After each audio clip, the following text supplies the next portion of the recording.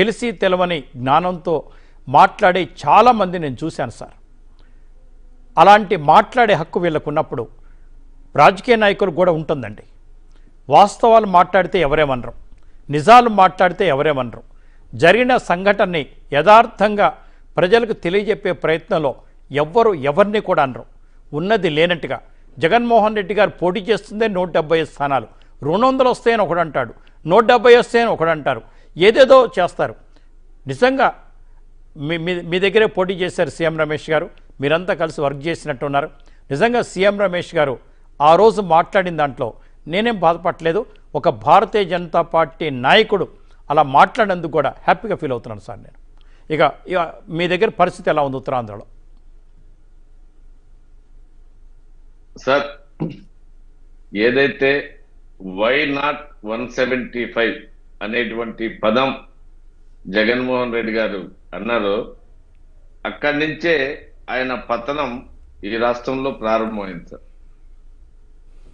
ఈ why not one seventy five అనేటువంటి పదంలో సర్వసాధారణమైనటువంటి జనాలు చూసింది ఏంటంటే ఒక ఒక అహంకారపూరితమైనటువంటి ఆలోచన విధానం మాత్రమే చూశారు తప్పితే ఆ ఒక లక్ష్యాన్ని చే- చేరేటువంటి వ్యక్తి యొక్క ఆ, వ్యక్తిని చూడలేదు జగన్మోహన్ రెడ్డి. ఒక అహంకారపూరితమైన వ్యక్తిని మాత్రమే ఆ ఓట్లో చూశారు ఏదైతే జగన్మోహన్ రెడ్డి అధికారంలో వచ్చినప్పటి నుంచి తను ఏ పని చేసినా కూడా అదే వ్యక్తిగతమైనటువంటి అహంకారంతో చేశాడు తప్పితే ఒక లక్ష్యంతో ఏది కూడా చేయలేదు.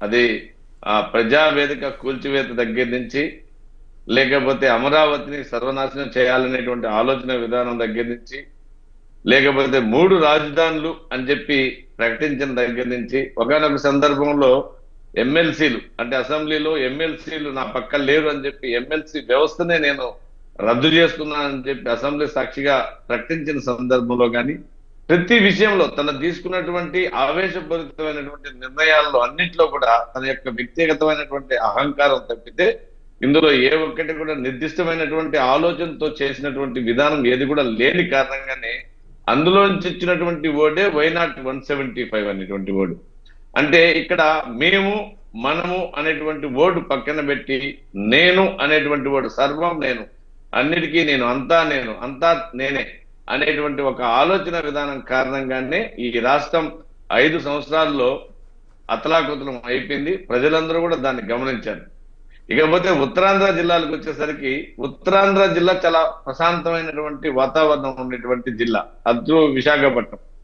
ఏదైనా ఒక ప్రాంతం అంటే ప్రపంచంలోనే ఏదైనా ఒక రాష్ట్రాన్ని క్యాపిటల్ చేస్తాము అని అక్కడ ఉన్నటువంటి అధికారులు ప్రకటించి చేస్తే అది అధికారులు కానీ ప్రజాప్రతినిధులు కానీ ప్రకటన చేస్తే చాలా ఆనందంగా స్వాగతం పలికేటువంటి ఆ పరిస్థితుల్లో విశాఖపట్నం రాజధాని చేస్తానంటే ఫస్ట్ జగన్మోహన్ రెడ్డి యొక్క ఆలోచన విధానానికి ఈ వ్యతిరేకం. రెండోది మాకు అసలు అమరావతి అనేటువంటి దాన్ని రాజధాని చేసిన తర్వాత మళ్ళీ మాకెందుకు రాజధాని అనేటువంటి ఆలోచన ప్రతి ఒక్కరిలో కూడా విశాఖపట్నంలో రావడం కారణంగానే మాకు అవసరం లేదు ఇక్కడ రాజధాని. మేము ఆల్రెడీ ఉన్నది ఉన్నట్టు అభివృద్ధి జరుగుతుంది. మాకు ఎటువంటి అవసరం కూడా లేదు అనేటువంటి ఆలోచన అంటే ప్రశాంతమైన వాతావరణం ఉన్నాం అనేటువంటి ఆలోచనతోటి దాన్ని తిరస్కరించినటువంటి ప్రజలు ఎన్నికలు వచ్చిన తర్వాత ఇంకొద్దిగా ఉత్సాహంతో దాన్ని ఓటు రూపంలో వాళ్ళకి వ్యతిరేకంగా వేసినటువంటి విధానం చూసినా ఖచ్చితంగా రిజల్ట్స్ రాబోతున్నాయి.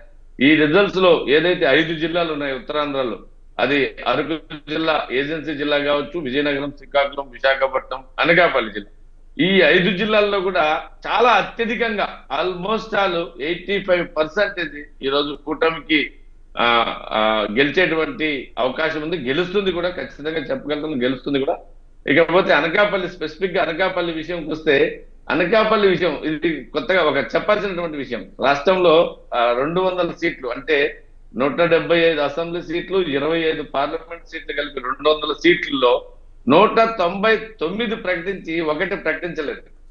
ఆ ఒకటి అనకాపల్లి ఎంపీ సీట్. అక్కడే జగన్మోహన్ రెడ్డి ఆ సీఎం రమేష్ గారు అనేటువంటి ఒక వ్యక్తికి భయపడ్డాడు అనేటువంటిది చాలా స్పష్టంగా ఎప్పుడైతే సీఎం రమేష్ గారి పేరు అనకాపల్లికి వచ్చిందో ఆయన ఆ- ఒక్కటి ఆపేసి మిగతా అన్ని కూడా ప్రకటించుకుంటే ఆల్మోస్ట్ వాళ్ళు భయపడ్డాడని అనిపించింది మాకైతే వ్యక్తిగతంగా. ఆ తర్వాత అక్కడ ఉన్నటువంటి ఒక అంటే ఇంకా చెప్పాలంటే మనం అంత పదాలు వాడకూడదు. ఒక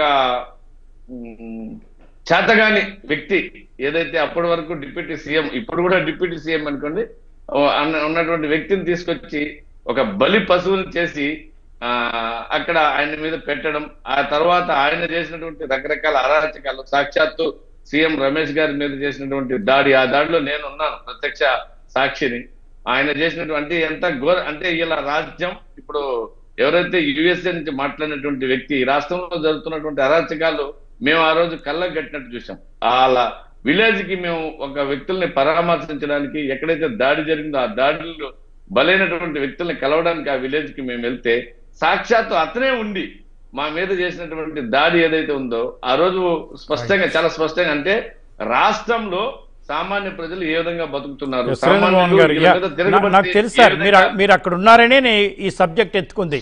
నేను అనకాపల్లి సీఎం రమేష్ గారి విషయం మీ ముందు ఎందుకు చెప్పారంటే మీరు అక్కడ ఉన్నారు ప్రత్యక్ష సాక్షి మీరు అక్కడ గొడవలు సంజాయించారు అందరిని గుర్తుపట్టారని కూడా నా- నాకు తెలిసే నేను మీ ఆ ప్రశ్న అడిగాను. ఓకే. సార్. మహేష్ గారు. అంటే ఒక డిప్ కాదు సార్ ఆ- గొడవలో విచిత్రం ఏంటంటే డిప్యూటీ సీఎం సార్. బూడి ముత్యాల నాయుడు గారు అనేటువంటి వ్యక్తి మా మీద సుమారు ఒక ఐదు వందల మంది వ్యక్తులు దాడి చేస్తుంటే తన అనుచరులు దాడి చేస్తుంటే మా ఎదురుగా అంటే మేము ఒక వెహికల్ పోలీస్ వెహికల్ కూర్చుంటే ఆ వెహికల్ మీద అంటే ఇంకా ఎగ్జాంపుల్ చెప్పాలంటే జురాసిక్ పార్క్లో వెహికల్ మీద ఆ- జంతువులన్నీ వచ్చి పడి హింస పెడతాయి కదా. ఆ విధంగా ఇంకా జంతువుల కంటే హీనంగా వీళ్ళు మా మీద దాడి చేసినప్పుడు బూడి ముత్యాల నాయుడు అనేటువంటి వ్యక్తి ఎదురుగా వచ్చి కుర్చీ వేసుకుని కూర్చొని మరీ దాడి చేయించినటువంటి. సార్ జగన్మోహన్ రెడ్డి గారికి ఇష్టం అదే కదా. తయారు చేసినటువంటి జగన్మోహన్ రెడ్డి ఎంత క్రూరంగా ఆలోచన చేయగలుగుతాడు? ఆయ- ఆయన ఆయన సంతోషపడేదే ఇటువంటి వ్యవహారాల మీద. అదే అదే. అటు అటువంటి వ్యక్తుల్ని పెట్టుకొని ఇతను రాష్ట్రంలో ఏ విధంగా పరిపాలన చేయగలుగుతాడు? అంతకంటే ఇంకేముంది? మహేష్ గారు మరి అక్కడ పరిస్థితి ఎలా ఉంది? ముఖ్యంగా ఎన్నికలు అయిపోయిన తర్వాత కూడా హింసాకాండ జరుగుతోంది. సిట్ పూర్తి స్థాయిలో దర్యాప్తు నివేదిక ఇచ్చింది. ఇందులో వైసీపీ నాయకుల పేర్లే ఎక్కువగా ఉన్నాయి. అంటే వైసీపీ నాయకులు ఎన్నికలు జరగకుండా ఎన్నికలు జరిగిన తక్కువ పోలింగ్ శాతం ఉండేలాగా లేదా వాళ్ళ మనుషులు మాత్రమే ఓటేసేలాగా అంటే పంచాయతీ ఎన్నికలు చూసాం కదా అదే రిపీట్ చేద్దాం అనుకున్నారు. కానీ తిరగబడిపోయింది. ప్రశాంత్ కిషోర్ గారు చెప్పినట్టు తిరగబడి